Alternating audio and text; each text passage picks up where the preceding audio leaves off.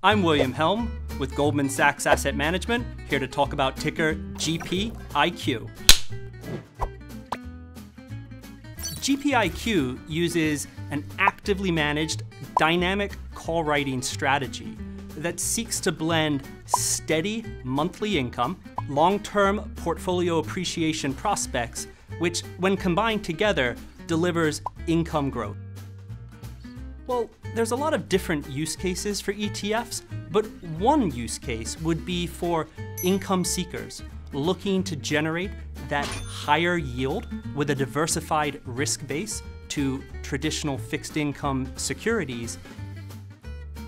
I would say GPIQ would be a lion, a revered animal that's made stronger by the pride that it works within and I think that relates to Goldman Sachs asset management as a firm. Oh, uh, morning person after my first or second cup of coffee. GPIQ holds core equity exposure to the NASDAQ 100 index, meaning its beginning risk profile will look like that well-known index you're likely already familiar with.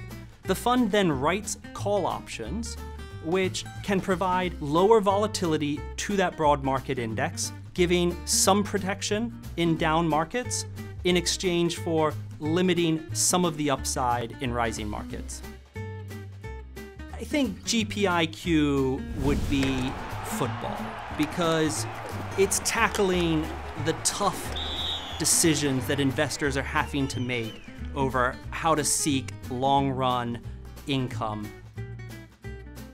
Investors can learn more at gsam.com/etfs.